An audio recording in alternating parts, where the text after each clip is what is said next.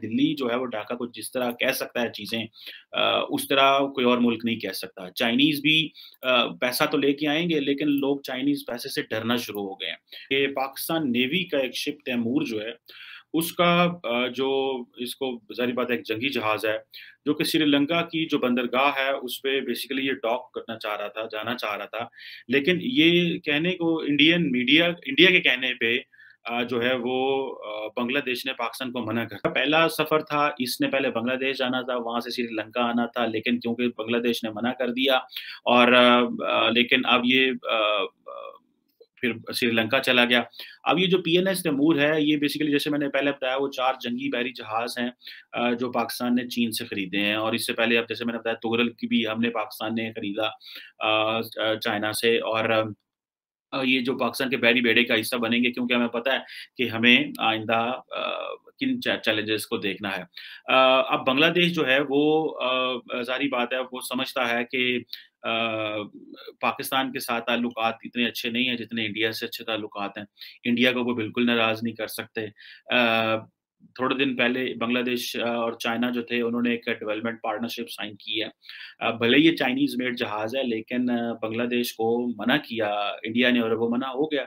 अब क्योंकि ये कहा जा रहा था, क्योंकि जी पंद्रह अगस्त की सेरेमनीज आ रही हैं, और जिसमें सरकारी सतह पे जो है वो बहुत सारी चीज़ें होंगी, और सुनने में आ रहा है कि जैसे बांग्लादेश में सोग भी सरकारी तौर पर मनाया जाता है, जिस तरह इंडिया भी जो है वो पार्टीशन हॉरर के नाम से एक दिन मनाता है 14 अगस्त को और वो सारी चीज़ें करता है। वो ठीक है, उनका एक हक है, लेकिन मैं समझता हूँ कि इसकी कोई ज़रूरत नहीं है। आ, पहले ही हमारी आवाम के दरमियान और मामला बहुत ज़्यादा ख़राब हैं, तो इससे कोई फ़ायदा तो लीडरशिप नहीं कर सकती, नुकसान ही कर सकती लेकिन फिर भी एनी हाउ लीडरशिप के अपने इंटरेस्ट हैं, लेट देम डू। जो हम मैं चीज़ समझता हूँ कि इसकी जो सिग्निफिकेंस है, वो बड़ी इंपॉर्टेंट है। गो के पाकिस्तान जो नेवी है उन्होंने कहा है कि उनको ये वो जो समझते हैं कि ये प्रोपेगेंडा हो रहा है कि पाकिस्तान के बारे में, जैसे कि हम जो कोई स्पाई शिप वहाँ पे लेके जा रहे हैं। जो पाकिस्तान नेवी की तरफ़ से बात सामने आ रही है कि वो उन्होंने कहा जी, फ़िलहाल हमने इस दौरे को मौखर कर दिया है और नई डेट्स के ऊपर बात हो रही है। अब ये चीज़ भी जारी बात है इंपॉर्टेंट है कि इसमें कुछ जारी बात है। जब प्रोफेशनल नेवीज आपस में बात करती हैं तो सियासी बातें या सियासी इश्यूज़ डिस्कस नहीं होते सिर्फ़ मिलिट्री एंड डिप्लोमेटिक चीज़ें जो है वो डिस्कस होती हैं। और इस चीज़ को भी समझा जाता है कि जो लेट से क्योंकि ये मैरिटाइम डिप्लोमेसी के, के तौर पर गया हुआ था ये जहाज़ तो पाकिस्तान ने जारी बात है जो होस्ट मुल्क है उसकी इस चीज़ का ख्याल रखना है।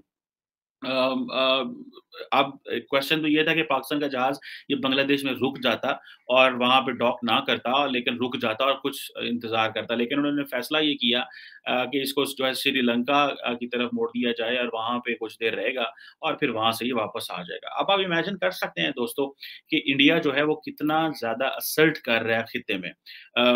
और बांग्लादेश भी उसके पूरे इन्फ्लुएंस में है, पाकिस्तान को जारी बात है कला को जब मामला जब खराब होते हैं तो एक चीज़ याद रखिए कि चीज़ें जो हैं वो आउट ऑफ़ कंट्रोल जब होती हैं तो एक चीज़ तो मुझे नज़र आ रही है कि इस खत्े में कोई ऐसा मुल्क नहीं होगा जो पाकिस्तान के साथ खड़ा होगा। ये चीज़ तो मुझे नज़र आ रही है। आपको सबको अपनी, इस बात में भी सच्चाई है कि सबको अपनी जंग खुद लड़नी पड़ती है। लेकिन खिते में कोई ऐसा मुल्क नहीं होगा जिसको जो पाकिस्तान के साथ खड़ा होगा।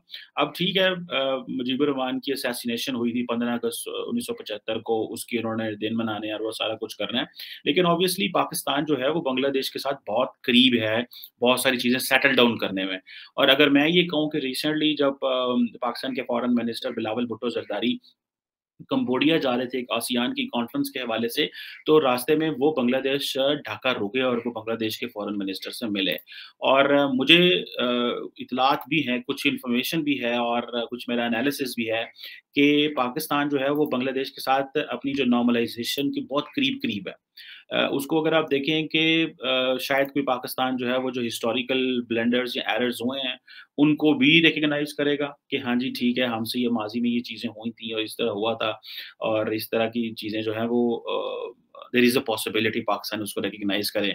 क्योंकि असल क्वेश्चन ये है कि how Pakistan have to move forward आप पचास साल हो गए हैं, बांग्लादेश को भी आज़ाद हुए तो हमें क्या मिल रहा है इस चीज़ से कि हम जो है वो ओ थे आकड़ के बैठे हैं, सी थे आकड़ के बैठे हैं, ठीक है?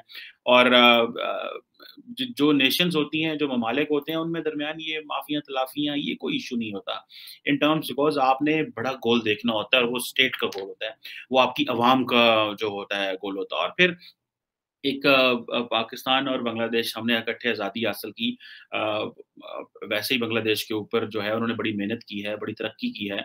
आज पैंतीस, चालीस अरब डॉलर के उनके फॉरेन एक्सचेंज रिज़र्व पड़े हैं। गो के वहाँ पे भी इकोनॉमी इतनी संभली नहीं है, लेकिन हमसे तो बहुत ज़्यादा संभली हुई है कि पैंतीस, चालीस अरब डॉलर के रिज़र्व है, लेकिन फिर भी आईएमएफ में जा रहे हैं। हमारे पास दस अरब डॉलर, नौ अरब डॉलर के रिज़र्व है और हम भी आईएमएफ जा रहे हैं।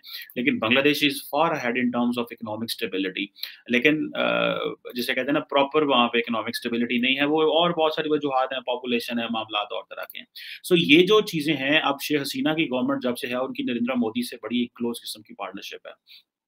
और शेख हसीना जो है, उन्होंने वो जितने इस्लामिस्ट एलिमेंट थे, जो जमात इस्लामी और उनको उनको सही जो है ना वो आड़े हाथों में लिया हुआ है और उनको दबा रहे हैं।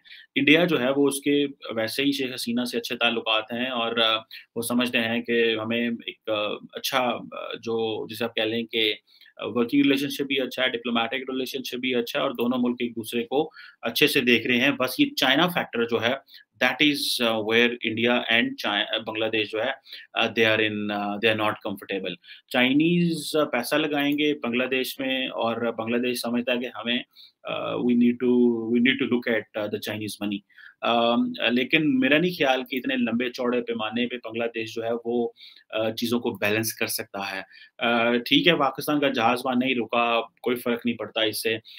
हमारे, क्योंकि बांग्लादेश के साथ ताल्लुक भी इतने मज़बूत उस तरह नहीं है सारी बात है डिप्लोमेटिक रिलेशन तो हैं, लेकिन जो आप इन्फ्लुएंस एंड जो जो आप देखें कि कंफर्टेबिलिटी इंडिया की ढाका में है, दिल्ली जो है वो ढाका को जिस तरह कह सकता है चीज़ें उस तरह कोई और मुल्क नहीं कह सकता। चाइनीज़ भी पैसा तो लेके आएँगे, लेकिन लोग चाइनीज़ पैसे से डरना शुरू हो गए हैं। बिकॉज़ वो वहाँ पे पैसा लेके जाते हैं, जहाँ पे वो समझते हैं मुल्क कमज़ोर है इकोनॉमी कमज़ोर है।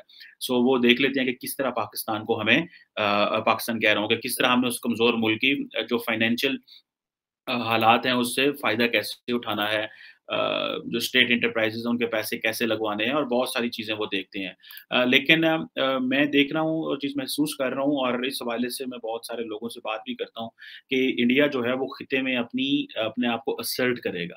और ये देखें असर्ट करना शुरू हो गया और वो छोटे ममालिक से उन्होंने असर्ट करना शुरू किया श्रीलंका, बांग्लादेश, नेपाल है, नेपाल तो आगे ऑलरेडी उनकी एक समझें कि वो और नेपाल जो है, वहाँ पे इंडियन रुपी भी चलता है। मैं रिसेंटली नेपाल गया था तो मैंने देखा था इंडियंस के लिए एयरपोर्ट पे लादा काउंटर बना हुआ आप जाएँ, आपको उसी वक्त वीज़ा मिलता है और आप जो है वो एंटर हो जाते हैं। तो ये जो कुछ चीज़ें हैं, मैं समझता हूँ कि इंडिया ने अपने जितने भी सार के छोटे ममालिक थे उनके ऊपर एक अच्छा वाला इन्फ्लुएंस अपना मेंटेन कर लिया और बाकी भी अदर देन दैट सार्क भी उनको लगता है कि वो इंडियन ओशन में भी अपना एक इन्फ्लुएंस मेंटेन कर सकते हैं। लेकिन ये जो इमीडिएट नेबर हैं तो वो बात तो हुई कि अगर जिस तरह चाइना छोटे ममालिक को फाइनेंशियली वीक कंट्रीज़ के ऊपर इन्फ्लुएंस करेगा, इसी तरह इंडिया भी वही फार्मूले के तहत करेगा उन वीक ममालिक पे। लेकिन यह है कि इंडिया जो है वो वो जो चाइना के डसे हुए ममालिक हैं, उनसे एक किस्म की, उनको जाके फेवर देगा, लेकिन साथ में चाइना का भी जो मर्सी है, वो भी पड़ेगा। दोस्तों, बांग्लादेश पर लगातार डोरे डाल रहे चीन और पाकिस्तान को शेख हसीना सरकार ने बड़ा झटका दिया है। बांग्लादेश की सरकार ने चीन में बने पाकिस्तानी नौसेना के सबसे घातक युद्धपोत पीएनएस तैमूर को चटगांव पोर्ट पर डेरा डालने की अनुमति देने से मना कर दिया। पीएनएन तैमूर लेजर गाइडेड मिसाइलों और शक्तिशाली रडार से लैस है और चीन के शंघाई से पाकिस्तानी नौसेना में शामिल होने के लिए कराची जा रहा था। माना जा रहा है कि पाकिस्तान और चीन चाहते थे कि ये युद्धपोत बांग्लादेश जाए ताकि बंगाल की खाड़ी में अंडमान निकोबार के पास से गुजरते हुए न केवल भारतीय नौसेना की गतिविधियों की जासूसी कर सके, बल्कि शक्त प्रदर्शन भी किया जा सके। साथ ही साथ, बांग्लादेश के ज़रिए चीन ये भी दिखाना चाहता था कि उसकी भारत को घेरने के लिए बनाई गई स्ट्रिंग ऑफ़ पर्ल की योजना सफल हो रही है। दरअसल, चीन म्यांमार में बंदरगाह का निर्माण कर रहा है। म्यांमार की सेना को भी चीन हथियारों की सप्लाई कर रहा है। वहीं बांग्लादेश में भी चीन ने बंदरगाह बनाने में मदद की है। बांग्लादेश ने चीन के बड़े पैमाने पर हथियार और युद्धपोत खरीदे हैं। कुछ दिन पहले चीन का जासूसी जहाज़ भारत के पड़ोसी देश श्रीलंका आ रहा था, लेकिन भारत के विरोध के बाद श्रीलंका ने चीन को मना कर दिया। इस बीच, बांग्लादेश ने चीन और पाकिस्तान दोनों को ही बड़ा झटका देते हुए तैमूर को रुकने की इजाज़त नहीं दी।